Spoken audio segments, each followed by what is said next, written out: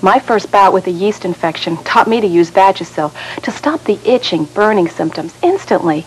I saw my gynecologist about the infection, but Vagisil cream relieved the burning and the itching.